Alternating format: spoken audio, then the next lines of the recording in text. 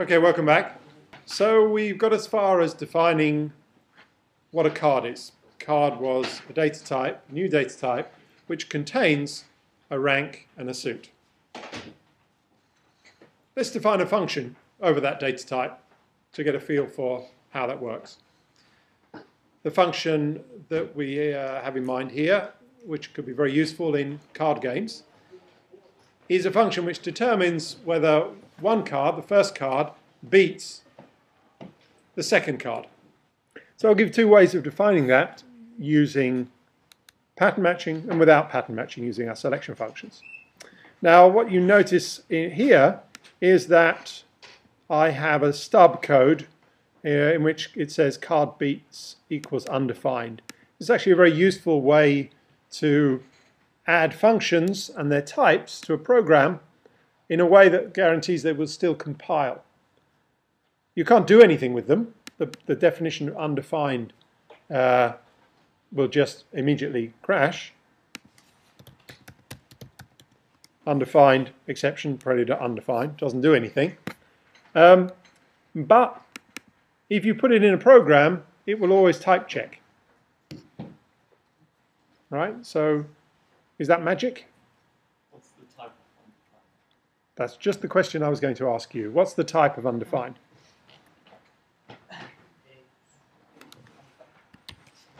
Undefined. oh, So undefined is an expression, not a type. So in Haskell, the worlds are pretty separate, but that was a good guess. The type of undefined is indeed A. It could have said B. It doesn't matter. What it means when you have a free variable, a small letter, it means, just means for all A, it can be an A. It, it, I can be any A you like. That's what it's saying. Which means it always fits in. If you have a bit of a program you're not quite sure about, you can always put in undefined and it, it can pretend to be any type that the program needs at that point, enabling you to type check the rest of the program. Question? What happens if you define A? You can't define A because A doesn't start with a capital letter. All types begin with a capital letter. If it doesn't begin with a capital letter and it uh, is a used as a type, then it means it's a, basically a free variable. It's, it's for all quantified implicitly. So it's your generic parameter, if you like. Yeah. All right. Okay, so this can be handy for building up programs incrementally, type checking programs incrementally. All right, so this is a function which, given two cards, gives us a, a Boolean, tells us whether the cards are um, when, whether the first card beats the second card. So what do two cards look like? Well, if we call them C1 and C2, then what we want to know is that the ranks of the... So, okay, when does a card beat another card? Okay, we have to agree on that before we can actually define the give the definition. It depends on the card game, but in, in many card games, you, only, you can only compare two cards if they have the same suit. So the only way to beat a heart is with another heart. The only way to beat a spade is with another spade. Now there are games in which the suits themselves are ordered or you have a, a suit which is special, a trump. Um, but if we ignore all those various finesses, we'll take the version of when one card beats another, which insists that the two suits are the same. So the suit of C1 should equal the suit of C2, and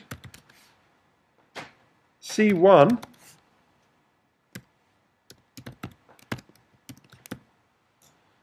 rank beats C2. Is that right? Am I using that correctly? No. Ah, couldn't match the expected type rank with the actual type card. So rank beats only works on ranks. Okay, it wasn't, okay, yeah. So it's the rank of C1 has to beat the rank of C2. Okay?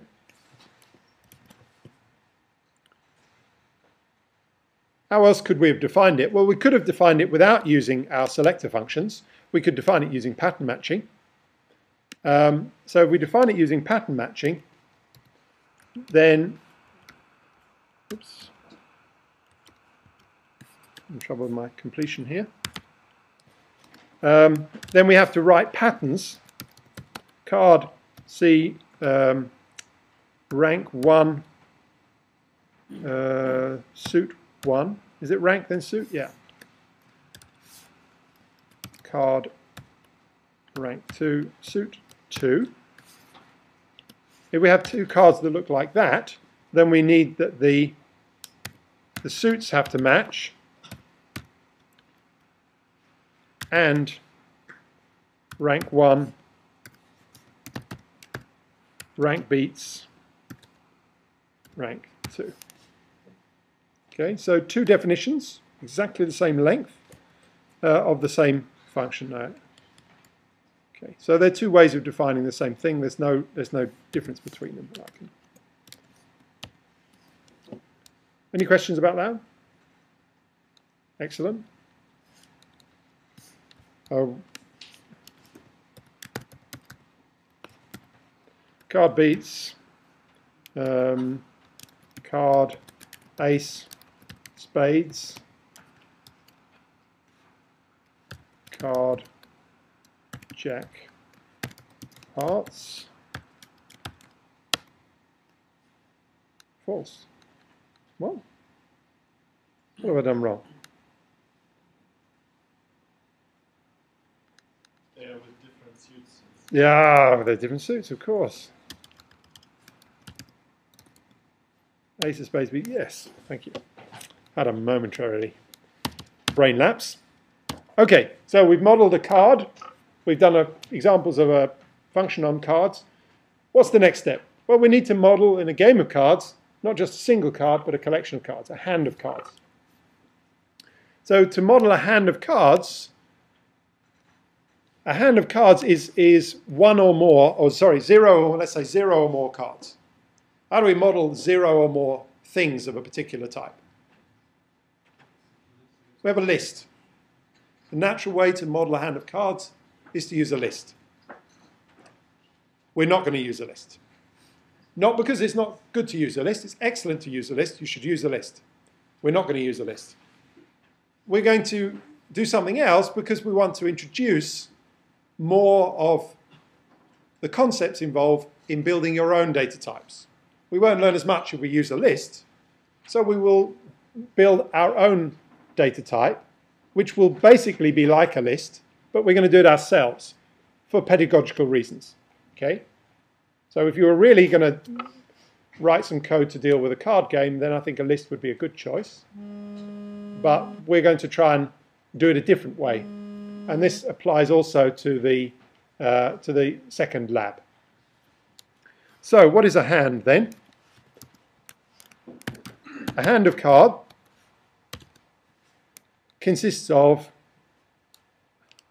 well, a bunch of cards. You might say hand um, one card, two cards, something like that. I don't know. We can't do it like that. We can't. We don't know how many how many cards we need. A distinction we can make, though, is that a hand of cards is either one of two things. It's either an empty hand or it's a non-empty hand. A non-empty hand is obtained by adding a card to a hand. If you add at least one card to any hand, you'll get a non-empty hand, right? We can use that distinction as the basis of our case distinction in the, the type. We can have an empty hand, that's an easy one, or if it's not an empty hand, it's the result of adding a card to something. And what's that something? It's a hand. So that's the definition of the data type. What do you notice about the data type definition? It's recursive. Yay! Recursion not only in the functions we define, but also in the data that we define. So every hand of cards can be built up by either by these two constructors, empty for building the smallest hand you can have, and the add constructor, which builds a hand, one of those things, by adding a card to a hand you already have. So you can build any card by, by any hand you like by starting with the empty hand and adding cards to that, and then you get what you need. Okay. Let me give some. I have a couple of examples here. There's a couple of examples of a hand. There's a hand with just one card, obtained by adding the ace of hearts to the empty hand. And here's another hand, obtained by adding the ace of spades to the previous hand. So they're two definitions that we can compute. If we reload that file, we can x hand 2. Ah, no instance for show hand. Of course, the usual story. We need to derive show. Should we derive some other stuff while we're here? What do you think of that? Is that a good idea?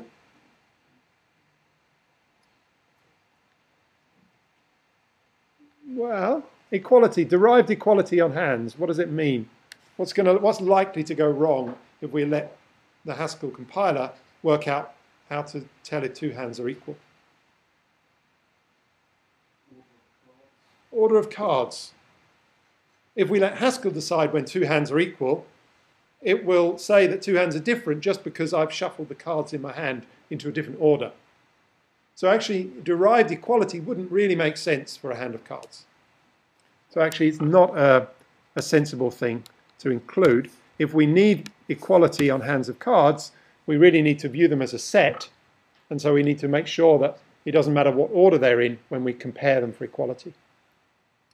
We're not going to use that as an example, but if we did, we'd want to define our own equality and not use the derived equality. But at least we certainly want to print them um, for the moment, so we can look at what we're doing uh, and there, if, if I evaluate that example, it doesn't do anything exciting. It doesn't even print very prettily, but that's the uh, derived show operation that I get. It prints it as it is. We could, of course, define our own one and print it in a nicer way. Any questions about that? Okay. So that was our hand. It was either empty or the result of adding a card to another hand. All right. Let's define an interesting function. When does a hand beat a given card? So many card games, there's a card on the table. You have a hand of cards and you've got to beat that card by choosing one of them. So the first step is to actually work out whether you can beat it. Can you beat the card on the table? In other words, do you have a card in your hand which beats the card on the table? So let's define a function which computes that. Given a hand and a card, computes whether it can beat the hand can beat the card or not. Okay. Well, we're going to use pattern matching. We're going to use pattern matching. We can use pattern matching on actually both parts, but the the one that we really uh, have to pattern match on here is the hand.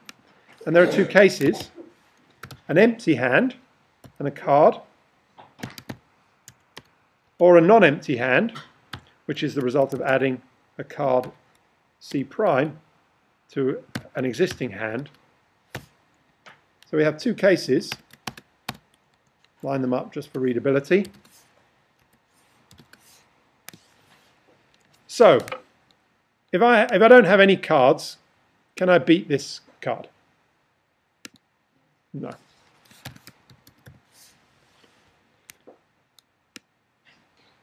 If I have this card, can I beat this card? Well, I can if this card uh, card beats this card. C prime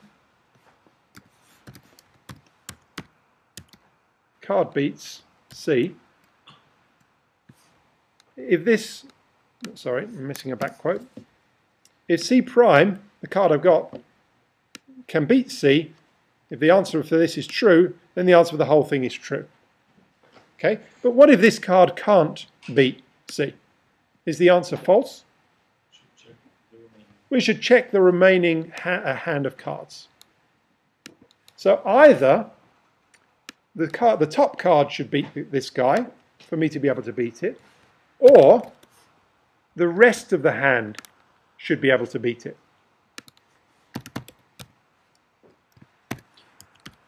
The rest of the hand is H, and the card we're trying to beat is C. So we have a recursive definition. We have a recursive data type. How do we do things with a recursive data type? We have to use recursion. In order to be able to walk across a recursive data type, we need a recursive function. So what this says is we can beat the we can beat a card either if the first one can beat it or if the rest of the hand can beat it. Okay? Any questions about that?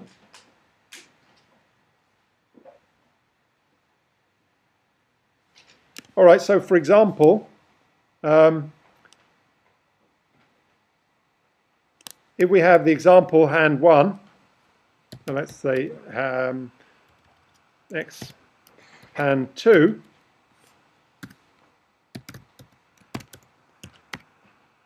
oops,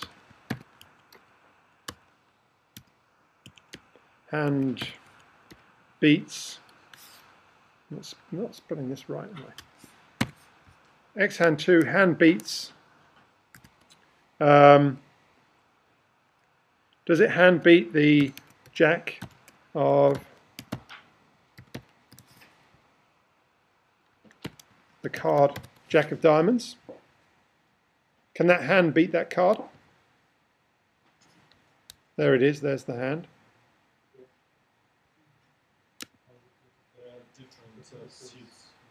Mm, um, yeah, so we don't have a diamond, so the answer should be false. Oh, what have I done? Oh yes, that's why it couldn't complete the word because I spelt it wrong. That's this function, small h. It can't. But if I if I wanted to try and beat the jack of spades, then of course I could beat it. Any questions? Excellent. All right, what's the next step? Let's have a look at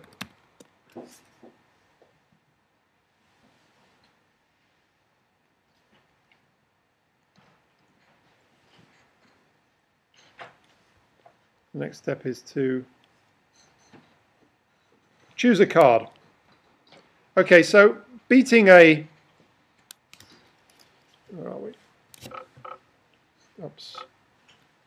So beating a... Um, being able to beat a card is one thing, but you also have to be able to choose a card from a hand to beat a given card, right? So let's have a look at the slides on this example. So this is a trickier example. Okay, when you play cards, you need to know. You, it's good to know whether you can beat a given card, right? But what you want to do is, a, beat the card with the worst card you have, if you can. If you can't beat the card, then you simply want to play your worst card. But there are usually rules. And the rules usually say that if there's a diamond on the table, for example, and I have a diamond in my hand, even if I can't beat it, I still have to play the diamond. Okay, this is a typical card game rule. So some of you have played cards, and this will be all very obvious. Some of you haven't. Okay, these rules are a bit arbitrary. That's just the way that some card games work. It makes for a fairly complicated definition of how I should best choose a card from a hand if there's a given card being played. Okay. So, um, so there's a list of a strategy here. Let me just look, at a picture. So if there's a two of uh, hearts here, what card should I play from the hand below? I can't beat it because I don't have any hearts. So I have to. I should be choosing the worst card of my hand, which is the five of clubs. Okay, we're not going to be super subtle about this. Um, so we're not going to take into account how many of these cards we have. If I were to add to my deck the four of hearts, then of course now I wouldn't want to play the five of clubs. If I had an extra card, a four of hearts, I'd want to play that instead. Okay? Because that can beat it. Another example might be the nine of diamonds. Here, the rules tell me that even though I can't beat it, I still have to play my diamond. So I have to play the seven of diamonds. That's just the card rule. Um, it's another example. Here's a, here's a card that I can beat. Um, so I actually, in this case, want to choose the best card of the two that, that are of the same suit, namely the jack. And so the code suggested in the lecture notes for this is this complicated beast. Notice that it doesn't actually use our hands beat function. What it does is work out which card it is from scratch. Okay, so let me just look at one example from here. If we're choosing the card, if we're trying to beat this card, and we only have one card, then it's real easy, right? That's the only card we can play. So that's the card we have to play. It doesn't matter whether we win or lose, we're going to play that card. Otherwise, if we have a card and a non-empty hand, so we have more than one card, we're going to use recursion. We're going to compare the best hand to the best card to play from the rest of the pack with the card at the top of the pack. We're going to either play the best hand from the rest of the pack or the card from the top of the pack. And then there's a bunch of rules which determine, according to the various cases, which one we should do. Okay, It's a bit tricky and a bit fiddly. Let's go back to the, the actual code for this. Okay, so I've, I've commented it out here actually. So what I've actually done here is I've slightly rewritten the example from the lecture notes. There was a bit of cut and paste programming going on down here, which I've turned into a function. And this works out the case when the first card matches the suit, it's the trumps if you like, and the second card doesn't match the suit. In that case, we always have to choose the first card. The other thing that I've got is a rank min function, where I'm using local definitions here, the rank min function, instead of actually work out which card, whether one card is better than another, actually gives you the card which is, is better.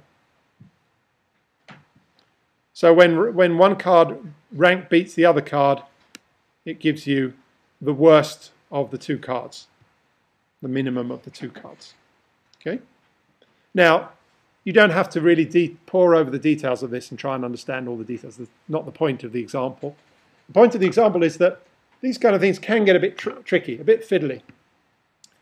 It's clear we need to test these kind of definitions, right? We're not going to live with just saying, yeah, my logic's good, it'll work. We need some way of testing it. So a good way of testing these kind of things is using this property-based testing that we're using a lot, we're going to use a lot in this course. So what property can we use? Well, what we have is a much simpler function. We have a function hands beats, hand beats. It's a function that is, in some sense, should be a lot more reliable. We, we can trust it because the definition is a lot simpler. Okay, maybe not today. Maybe tomorrow. By tomorrow, you'll trust it because the definition is simple. Maybe today, it still looks like magic. So what we can do is use our simpler and more obviously correct thing to try and determine whether this card is good. So how can we do that? Well, choose card should choose a, a card from the hand. It should choose a winning card precisely when the hand can beat the card. So if the hand can beat the card, then choose card, better, well, better pick a winning card. Otherwise there's something seriously wrong. And vice versa, if the hand can't beat the card, then choose card should not pick a winning card. It can't magically pull a card from up its sleeve, uh, out of its sleeve. Okay, so then it should pick a losing card. So that's one simple test that we can encode as a property. Let's call it property um, win. It's a property that relates a card and a hand and we're asking whether we're going to check whether this choose card thing is, is giving us the right answer. So a first attempt then is to say the hand beats, uh, which is the order in hand beats.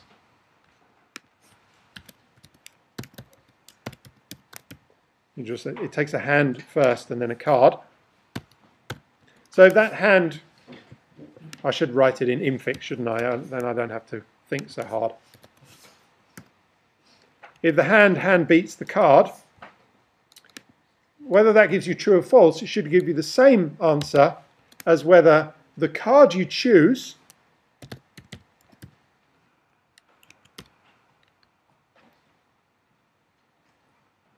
um, can beat the card given. The, the card I should choose should beat the hand given, the card given, precisely when the hand can beat the card given. Okay? So we're testing the equality of this Boolean expression and this Boolean expression. Okay? Shall we try it?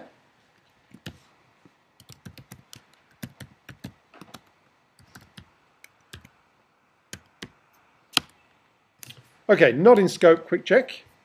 Get back up to the top here. Let's import test dot quick check.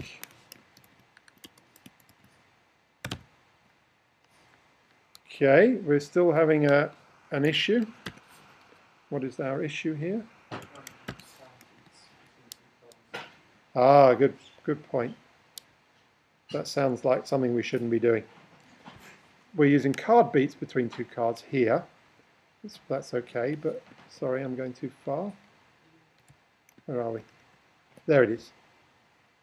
Um, yes, it should be card beats. Ah, yes, this is a card, and it should card beat. Yeah. Well, spot- well spotted. Okay, that should compile. Yes. Okay, quick check it. Quick check. Prop win. Okay. No instance for arbitrary card, arbitrary hand. When quick check runs, it has to generate random values of a data type. There is a class for things where you have random generators called arbitrary. But unfortunately, our new data type is not a member of this class. We would probably like to write deriving arbitrary to make automatic uh, arbitrary derivation. It is conceivable that it's possible, but QuickCheck is just a, a library in userland. It's not part of the language. So there's no special compiler support for the QuickCheck library that we're using. That means that we have to define random generators ourselves if we want to use random testing on quick check. We're not going to do that today.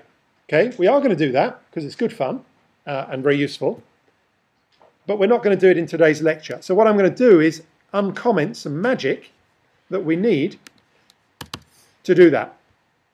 It will be magic that tells it how to generate an arbitrary suit by picking a random element from this list, an arbitrary rank by doing a bunch of other things, and building an arbitrary card by taking an arbitrary rank, an arbitrary suit, and putting them together in a card.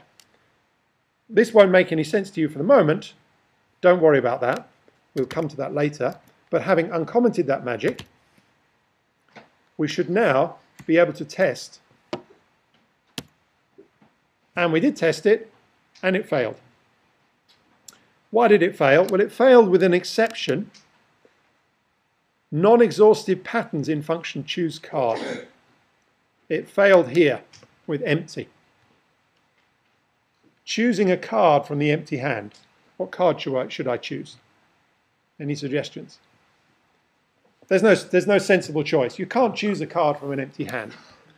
The point is, in fact, that the property that we're interested in is a property that we that should only hold for a non-empty hand. We don't we simply can't choose a hand, a card from a non-empty hand. So this is a property for non-empty hands. There are two ways to fix this. One is to generate to build a test and never and make sure that the hand has at least one card in it. Always. So instead of H here, we need to add a card to H. So we could do that by adding an extra parameter, a second card, to our property. if you have a card and a hand, you can always build a non-empty hand by adding the card to the hand. That's one way of fixing it. It gets sometimes a bit messy to have to add in extra parameters all the time. But there's another way to do it, and that is using a quick check operator that allows us to filter values that we don't want to use in tests. The value that we don't want to use in tests is we don't want hands which are empty. So the syntax is that we use a, something that looks like a logical implication, but it's not. It's a quick check uh, function. We want to say that if h is not equal to empty,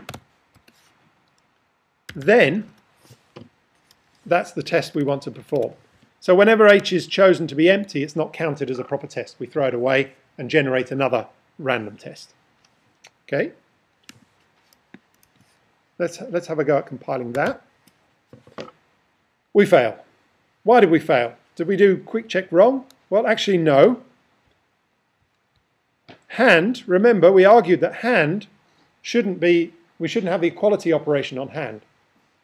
We argue that because we really want to take into account the order. Now we've been bitten by that because we haven't got the equality operation by, on hand. Equality and inequality go hand in hand. So we can't use inequality because that's also one of the things derived in the EQ class. Okay? So what do we do? Well, we could add it back to hand and then promise not to use equality, just use inequality, and only for testing with empty. We could do that. Or we could just say, all we need is a little function is empty. That's all we need. So let's do it that way instead. We need to, um, or rather, what is it? We won't want is empty, we want is non-empty h. If we have a non-empty hand, then we'll, we'll do the test. Let's define that as a local function. I don't think we're going to use that anywhere else. Oh, is, is non-empty, I want to say. Is non-empty. Is non-empty. So when is a hand non-empty? Um, well, if it's empty, that's false. Is not empty. Anything else is true. There's a little definition that we can use locally. And it compiles. Now, finally, we can quick check it. We can quick check it. But we're not quite there yet, and I've yeah, something I forgot to do here. Um, okay, after 23 tests, it found that if we try and play this, if we're trying to beat this card with this hand, then the property fails. Now the, the, the problem here is that the, the example is rather big. So what I forgot to do, what we forgot to do when we defined this module, this uh, testing code, is to tell it how to find smaller examples. So I'm just going to add some code quickly to this without you ex expecting you to understand what I'm doing here. I need a way to shrink a counterexample. So I can do that by defining a function. Okay, just, just bear with me for a minute. You're not, you don't need to understand this, but let me just explain the strategy. Quick check finds counterexamples. Great. Counterexamples can be monstrous, they can be huge. We want to find small counterexamples, but QuickCheck, given a big counterexample, doesn't know how to find smaller ones. What we can do is give it a hint. And the hint is a function which, given a thing, gives a list of slightly smaller things that QuickCheck can use to try, having found a big counterexample, to try and find a smaller counterexample. If we have a hand of cards, and as a counterexample, how do we find what's a good idea for suggesting finding a smaller counterexample? Well, this many cards. We've got to find a smaller counterexample. Well, the smaller counterexamples we could try is this hand, this hand, this hand, this hand, and so on. So we remove one card from the collection of hands. So I'm just going to quickly define a function that will do that. If I have the empty hand, nothing I can do. If I have add a card to a hand, then the list I want should contain the rest of the hand. That's what I get by removing the first card. And then I want all the possible other combinations.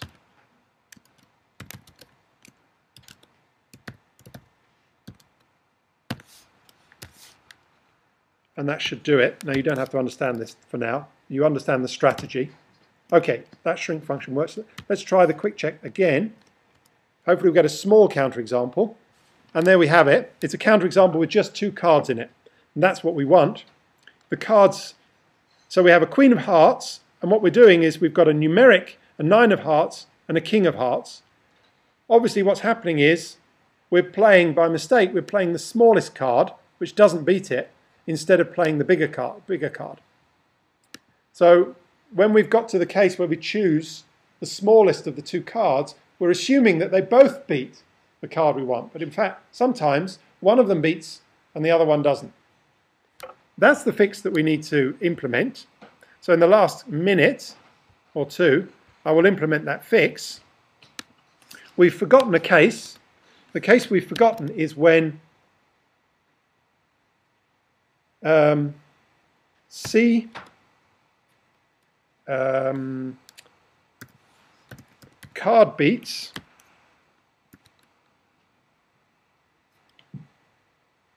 the card to beat and not negation of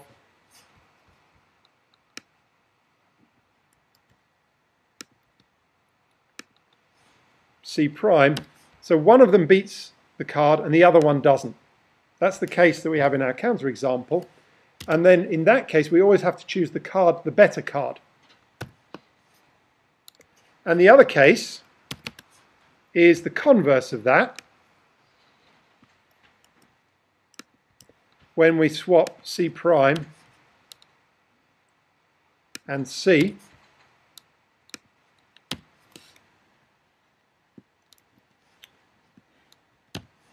just try that out.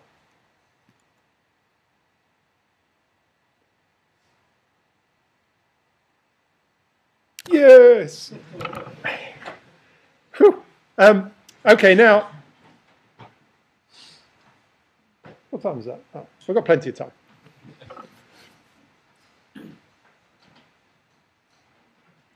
So you should be slightly disgusted with me at this point in time, because I just did a bit of cut and paste programming. You shouldn't. You know that whenever you're cutting and paste chunks of code, you're doing something wrong, right? So I want you to imagine when you're programming and you do cut and paste chunks of code, I'm looking over your shoulder. Okay, feel bad. It's bad. Um, so actually, this was the same factorization that I did previously, As compared to the what's on the slide. I noticed that I'm doing two things which are almost the same, but not quite. So I, I it's, it's, if you do that, then really you should define a function for that.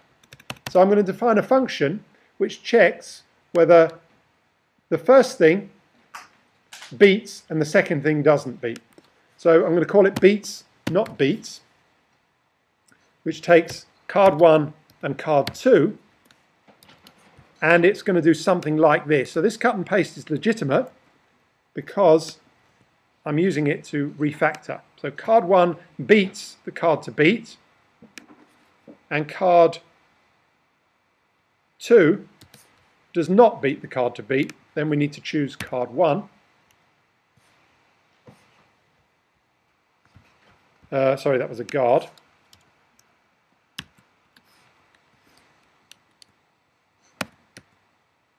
Okay, yeah, that's right. That's it's a sorry, it's a test. It's a test. We're testing whether the card one beats card two. So what we can do is replace this by let's call that beats not beats. Refactor this. This is beats not beats applied to card and card prime. And this one here is the converse, namely beats, not beats, card prime, card. Okay, just line those up. Okay, so we have now our four cases based on those two helper functions. Let's just move this one back up here and that was called trumps, no trumps. It's when one of them has the right suit and the other one doesn't, and this one is when one card beats and the other one doesn't. So they're rather similar in style. Okay, and that's our final refactored thing. I've refactored it, but let me just check I haven't made any errors in the process. I haven't introduced anything new. Excellent. Okay, so there was our property um, of winning.